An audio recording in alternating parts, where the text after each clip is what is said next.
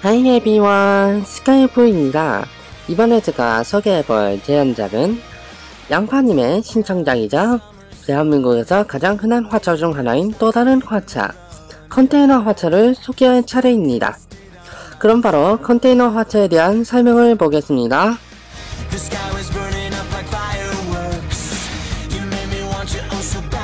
Oh.